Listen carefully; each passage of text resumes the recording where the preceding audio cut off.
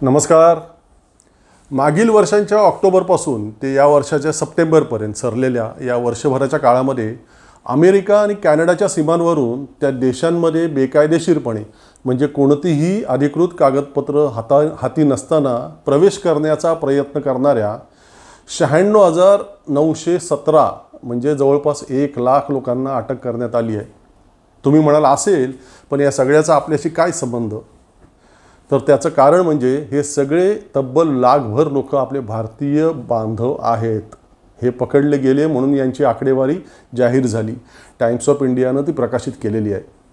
जे पकडले न जाता त्या देशांमध्ये प्रवेश करू शकले त्यांची संख्या आणखीन वेगळीच. त्याशिवाय हे पकडले गेलेल्यांची संख्या फक्त अमेरिका आणि कॅनडाच्या सीमांच्यावरची आहे. अन्य युरोपियन देशांच्या सीमांवर पकडले गेलेल्यांची किंवा पकडले न जाता त्या देशांमध्ये प्रवेश करू शकलेल्यांची संख्या याच्यामध्ये नाही. आता हे पकडले गेलेले सगळे भारतीय तिथं निर्वासितांच्या छावण्यांमध्ये दिवस काढत आहेत अनेक हृदयद्रावक घटनाही या सगळ्यामध्ये घडताना दिसत आहेत आपल्यापैकी अनेकांच्या त्या वाचनात ऐकण्यात पाहण्यात आल्या असतील. एक भारतीय कुटुंबच्या कुटुंब असंच बेकायदेशीरपणे समुद्री मार्गाने या देशांमध्ये शिरण्याचा प्रयत्न करत असताना ते ज्या बोटीमध्ये होते ती बोट उलटली आणि कुटुंबातील त्या सगळ्याच्या सगळ्या सदस्यांना जिवंतपणे जलसमाधी मिळाली. मेक्सिकोतून अमेरिकेमध्ये प्रवेश करण्यासाठी अडथळा असणारी भिंत जी ट्रम्प महाशयांनी बांधलेली आहे ती ओलांडताना एका कुटुंबातील व्यक्ती मेक्सिकोच्याच हद्दीत खाली पडली आणि गतप्राण झाली. त्याची बायको आणि मुलगी मात्र अमेरिकेच्या हद्दीत पडले आणि वाचले. आता त्या मायलेकीसुद्धा निर्वासितांच्या छावणीमध्ये आहेत. आता यातही आणखीन एक महत्त्वाची बाब आहे. ते जे जलसमाधी मिळालेलं दुर्दैवी संपूर्ण कुटुंब होतं तेही सगळे गुजराती होते. आणि हे जे जोडपं आहे म्हणजे ते आणि त्यांची मुलगी अमेरिकेत बेकायदेशीरपणे घुस घुसण्याचा प्रयत्न करीत होते. ते सुद्धा गांधीनगरचे म्हणजे गुजरातीच होते. हे जे गेल्या वर्षभरामध्ये लाखभर लोक पकडले गेले त्यात बहुतांश लोक गुजरात आणि पंजाबमधले आहेत. पंजाबच्या मुद्द्यांवर मुद्द्यावरती नंतर बोलू. पण गुजरात व्हायब्रंट गुजरात विश्वगुरूंचं राज्य गुजरात अब्जावधींची गुंतवणूक होत असल्याच्या जाहिराती मोठ्या प्रमाणात करीत असलेलं गुजरात अशा समर्थ सक्षम ताकदवान वगैरे म्हणवल्या जाणाऱ्या गुजरातच्या लोकांना हा आपला स्वतःचा महान देश सोडून जावा असं का बरं वाटतंय? मागील आठ दहा वर्षांमध्ये जे अब्जोपती इथे आपल्या देशात मोठमोठे आर्थिक घपले करून आपल्या बँकांना अब्जावधी रुपयांचा चुना लावून परदेशात पळून गेले त्यातीलही बहुसंख्य गुजरातीच. आणि हा देश सोडून बेकायदेशीर मार्गाने अन्य देशांमध्ये प्रवेश करण्यासाठी धडपडणारे बहुसंख्य स्तरातील लोकही गुजरातीच.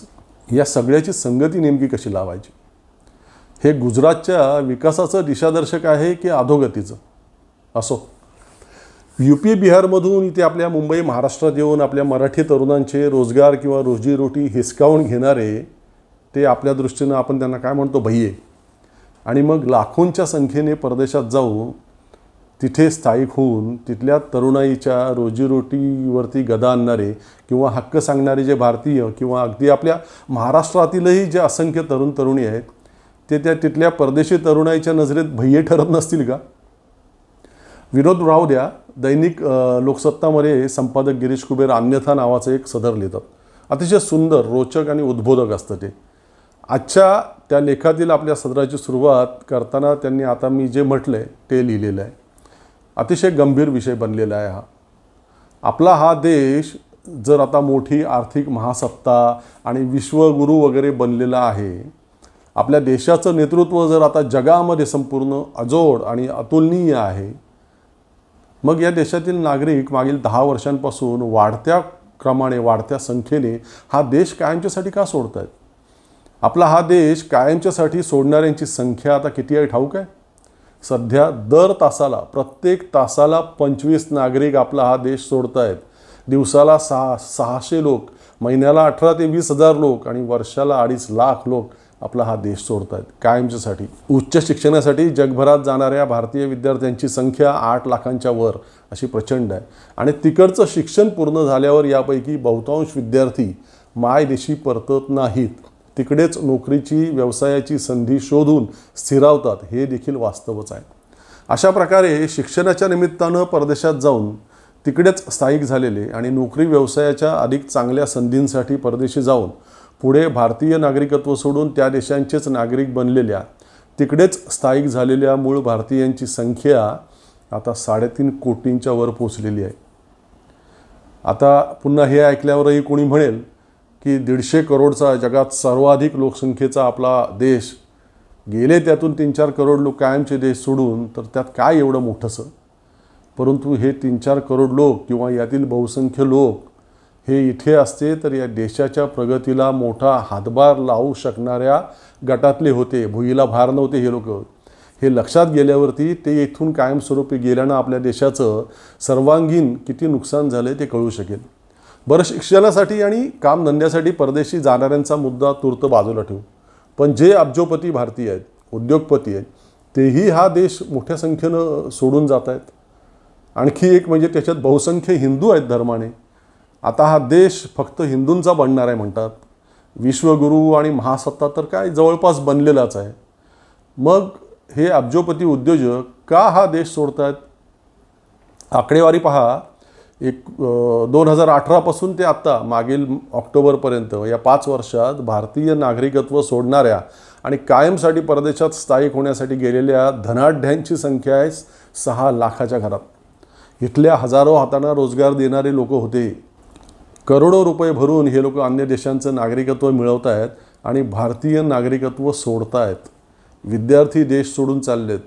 शिक्षण पूर्ण झाल्यानंतरही मायदेशात यायला मागत नाही आहेत तयार नाही आहेत नोकऱ्या आणि व्यवसायाच्या उत्तम संधी साधण्यासाठी लक्षावरी भारतीय देश सोडत आहेत पुन्हा यायला तयार नाही आहेत इथे भारतात अफाट धन कमावल्या कमावलेले धनाढ्य लोकसुद्धा देश सोडत आहेत परदेशी नागरिक बनत आहेत पण देशातील कोणत्याही राज्यकर्त्यांना या सगळ्याचं काहीही सोयसूतक असल्याचं त्यांच्या वर्तनातून अजिबातच दिसत नाही आहे आपलं भवितव्य उज्ज्वल होण्यासाठी आवश्यक असलेलं आणि जगाच्या बाजारात मोल असलेलं दर्जेदार शिक्षण या देशामध्ये मिळत नसल्याने विद्यार्थी परदेशात जातात. मेहनतीची तयारी असूनही आणि अंगी योग्य ते कौशल्य असूनही त्याला योग्य अनुकूल आणि म योग्य मोबदला मिळू शकण्याची संधी इथे उपलब्ध नसल्याने अनेक बुद्धिजीवी आणि कष्टकरी लोक परदेशात जातात. आणि इथलं सामाजिक वातावरण आता मोकळं ढाकळं सुरक्षित आणि आपल्या मुलाबाळांच्या भविष्याच्या दृष्टीने योग्य राहिलेलं नाही हे लक्षात घेऊन धनाढ्य लोकही देश सोडत आहेत कायदेशीर आणि बेकायदेशीर कशाही पद्धतीने हा देश सोडून अन्य देशात जाऊन स्थायिक व्हावं असं लक्षावधी लोकांना वाटणं हे आपला हा देश विकासाच्या योग्य मार्गावर असल्याचं द्योतक मानायचं का? हा खरा प्रश्न आहे. इथे जर कालचक्र मागे फिरवण्याचे उद्योग सुरूच राहिले.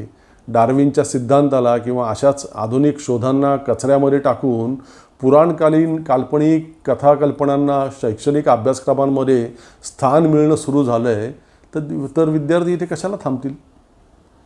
महिला आणि मुलांसाठी सुरक्षित वातावरण आधुनिक जीवनशैली आणि प्रदूषणमुक्त वातावरण कमाईच्या अधिक संधी आणि योग्य प्रकारची कररचना टॅक्स या अशा काही परदेशांमधील महत्त्वाच्या बाबी सुजान भारतीयांना आकर्षित करतात आणि त्यामुळे तिकडे जाण्याचा ते निर्णय घेतात. इथे देशाच्या सीमेवरचंच एक राज्य महिनोन महिने जळतं आहे अनेक बळी रोज जात आहेत राज्यकर्त्यांना काहीही पडलेलं नसतं. आपल्या स्वतःच्या देशातील एका जळणाऱ्या राज्यापेक्षा युक्रेन इस्रायल हमास वगैरे प्रश्न त्यांच्या दृष्टीनं अधिक महत्त्वाचे असतात. आपल्यावर अन्याय करणारे काळे कायदे मागे घेतले जावेत यासाठी इथे वर्ष वर्षभर शेतकऱ्यांना ऊन वाऱ्या थंडी पावसात रस्त्यावर ठाण मांडून बसावं लागतं बलिदान द्यावं लागतं. आंतरराष्ट्रीय दर्जाच्या महिला खेळाडूंना आपल्यावर अत्याचार करणाऱ्या पदाधिकाऱ्यावरती कारवाई व्हावी म्हणून रस्त्यावरती बसून राहावं लागतं आणि तरीही अखेर त्यांना न्याय मिळत नाहीच. दंगलखोरांना इथे मोकळं रान असतं बलात्काऱ्यांना इथे सन्मान दिला जातो. भोंदू बुवा बाबांना सरकारच पुरस्कृत करत असतं. इथली माध्यमं लाचार झाली आहेत. विरोधी आवाज दाबले जात आहेत कारागृहात डांबले जातात. लोकांच्या खाण्यापिण्यावर आणि संस्कृतीच्या नावाखाली काय कपडे घालावेत यावर सुद्धा बंधनं आणली जात आहेत. लोकांच्या जीवन मरणाच्या प्रश्नांपेक्षा गोंगाटी उत्सावा उत्सवांसाठी सरकारच प्रोत्साहन देते. जिथे पर्यावरणाचा सरकार पुरस्कृत ऱ्हास सुरू आहे जिथं सरकारी रुग्ण रुग्णालयांमध्ये औषधं आणि योग्य उपचारांअभावी रोज गोरगरीब रुग्ण दगावत आहेत जिथं कमी पटसंख्येचं कारण देऊन वाड्या वस्त्यांवरील सरकारी शाळा बंद करून गोरगरिबांच्या मुलांना शिक्षणापासून वंचित केलं जातं आहे जिथे तब्बल ऐंशी कोटी जनतेच्या हाताला योग्य काम नाही आणि त्यामुळे पोटाला त्यांच्या धड अन्न मिळत नाही तर त्यांच्या हाताला योग्य काम पुरवून त्यांची क्रयशक्ती वाढवण्यापेक्षा त्याऐवजी त्यांना महिनोन महिने मोफत रेशन पुरवून आम्ही किती महानचा गजर केला जातो त्यासाठी रिझर्व्ह बँकेची गंगाजळी आ आटवली जाते देशावरचा कर्जाचा भार प्रचंड वाढवला जातो आहे आणि जिथे या अशा सगळ्या बाबींचं भानच कुणा राज्यकर्त्यांना किंवा पुढाऱ्यांना नाही बहुसंख्य जनतेलाही नाही ही भयंकर परिस्थिती सुधारण्याची नजीकच्या भविष्यकाळात काही आशाही दिसत नाही. अशा ठिकाणाहून बाहेर पडून जिथे हे काहीही भयंकर प्रकार नाहीत आणि मोकळेपणानं छान सुंदररित्या जीवन जगता येईल तिथे राहण्याची संधी ज्यांना उपलब्ध होत असेल त्यांनी ती का सोडावी असंही वाटतं. आपल्या उत्कर्षासाठी परदेशात जाणाऱ्यांवरती माझा किंवा अभिव्यक्तीचा अजिबात रोष नाही. ही त्यांच्यावरील टीकासुद्धा नाही. हा उद्वेग आहे. आपल्या देशात त्यांनी थांबावं अशा संधी निर्माण न होऊ शकल्याचा. विद्यार्थ्यांना आवश्यक शिक्षण संधी इथे निर्माण न झाल्याचा. उत्तम रँकिंग प्राप्त करणाऱ्या प्रज्ञावंतांच्या बुद्धीचा देशासाठी योग्य उपलब्ध होऊ शकत नसल्याचा. आजपासून दहा वर्षांपूर्वी सगळं काही आलबेल होतं असं अजिबातच नाही. परंतु देश कायमसाठी सोडून जाण्याची इतकी मोठ्या प्रमाणातील उर्मी तेव्हा लोकांमध्ये नव्हती. या दहा वर्षात क्रमाक्रमानं ती वाढत गेल्याची आकडेवारीच सांगते आहे अस्वस्थता या आकडेवारीची आहे. असो आपलं काय? अरण्य रुदनच ठरणार असतं हे सगळं तरीही बोलल्याने मनातील अस्वस्थता जरा कमी होते म्हणून बोलायचं. दुसरं काय? आपलं अभिव्यक्ती चॅनल तुम्ही आठवणीने सबस्क्राईब करावं अशी विनंती आहे. पुन्हा भेटू लवकरच. तोपर्यंत धन्यवाद.